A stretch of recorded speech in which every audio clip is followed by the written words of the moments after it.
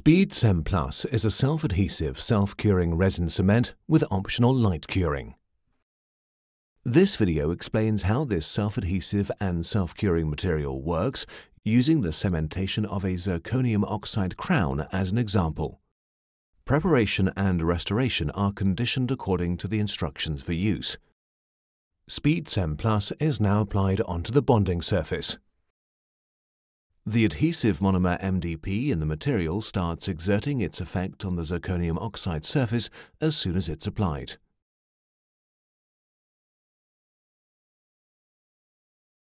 The monomer consists of a phosphoric acid group and a methacrylate group. The phosphoric acid group acts as the bonding agent on the zirconium oxide surface.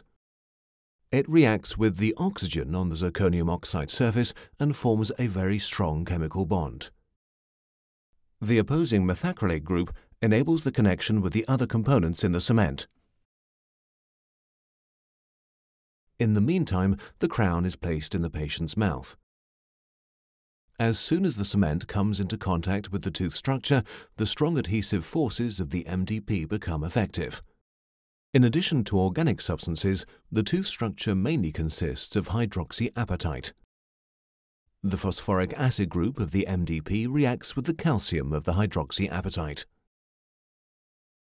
A strong chemical bond between MDP and the tooth structure is formed. The cement is polymerized using the self-curing or dual-curing mode. With the activation of the initiators, the monomers are combined to form a stable network upon polymerization. In this process, the MDP adhesive monomers on the restoration and the tooth surface, as well as the filler particles, are integrated into the network. The filler particles provide high stability and particularly high radiopacity of the cement. The polymerization of the cement can be accelerated with a curing light.